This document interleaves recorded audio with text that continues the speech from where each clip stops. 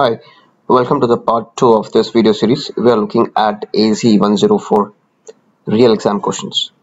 Please subscribe to my channel. This channel is dedicated to help you clear cloud certifications. Please focus on the concepts explained. Let's jump into the questions. Question 3.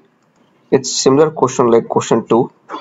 There are multiple VMs and each VM will have a public and private subnet what the question says is inbound and outbound security rules will be identical.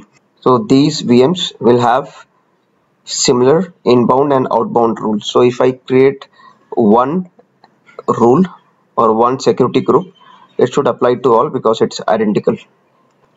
So the answer here is one security group. The key to answer this was this line let's look at question 4 so you have several VMs which run on Windows and one VM is backed up daily. So if this VM VM5 it gets corrupted due to whatever reason is explained in the question we need to restore from the backup. And the question says what is true. The first one says you can only recover files to infected VM that's not the case. Why will we you know recover to the infected VM we'll have to clear the VM and then recover it. So that's not ideal. B says you can recover to any VMs yes. So we can recover to any of the other blue VMs so the green one is infected. We can recover to a blue VM it says you can recover to a new VM that means apart from instead of you know using these blue VMs we'll create a new VM not required. You already have blue VMs and this one says you cannot recover the files that's wrong Azure backup instance store. The whole purpose of this is the backup instance restore is to backup and restore. So this is correct. Let's look at question 5 so basically in this question you want to identify performance issues due to and pertaining to the metrics of the infrastructure. Metrics is the key here so we know this is the key.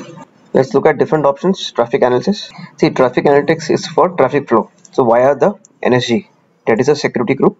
Who is logging in? Who's accessing what? This all will be logged here. This is primarily related to traffic flow. We want features which are related to metrics. A is wrong. Let's look at b azure monitor. The azure monitor is all about metrics okay? So this is the right tool. Primarily we use monitor because we want to collect analyze and act on the telemetry of your cloud or on-premises environment also. So this is the right answer. Let's look at activity log.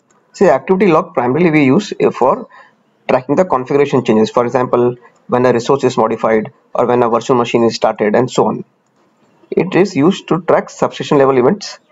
Since we want things related to metrics, activity log will not work. Let's look at option D, advisor.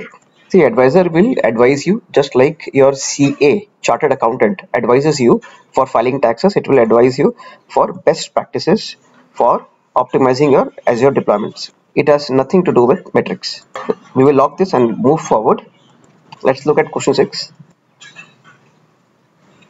See, whatever the question says, the root cause, you the problem here is you want to sync your on-prem AD with Azure AD and to sync they have given a solution to restart net logon service. So what is a net logon service? Primarily it is a authentication mechanism. So when you log in this service will verify the login request and it will perform authentication. This service is not used for sync up. This is a sync up use case? The answer is no in this case.